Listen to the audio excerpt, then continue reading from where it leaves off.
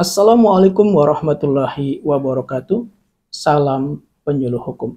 Sahabatku semua, setiap orang yang dipanggil di muka pejabat yang berwenang tanpa alasan yang sah, tidak datang menghadap, atau dalam hal yang diizinkan tidak meminta wakilnya menghadap dalam perkara orang yang belum dewasa, dipidana dengan pidana denda paling banyak kategori 2. Denda kategori 2 sebagaimana dimaksud yaitu sebesar 10 juta rupiah. Ketentuan ini tercantum di dalam pasal 357 Undang-Undang Nomor 1 tahun 2023 tentang Kitab Undang-Undang Hukum Pidana.